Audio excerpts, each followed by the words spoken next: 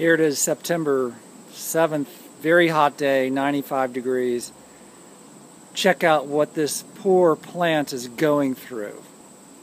Excessively dry conditions are obviously causing wilt in these plants. Let's check out this one in particular. This is a butternut squash growing at the very end of the vine in my patio. There's the maturing squash right there. Let's trace this thing back to its origin. Here's the vine coming along, and we cross under this pumpkin vine.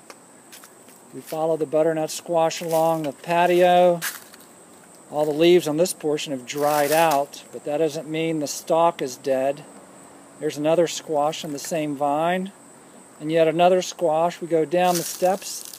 The vine's looking fairly green again and we come down into the uh, garden bed where the squash vine originates.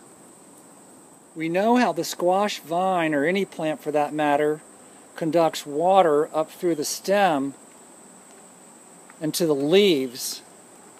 That's pretty clear. But what is very curious is how does the squash plant direct water into the developing fruit? There are no pumps that will pump water into that fruit. So try and figure that one out. So if you're looking for a little bit of extra credit, why don't you come up with some kind of talking video that explains to me exactly how it is that the water from the squash vine can get into the squash fruit. Yeah, that'd be good.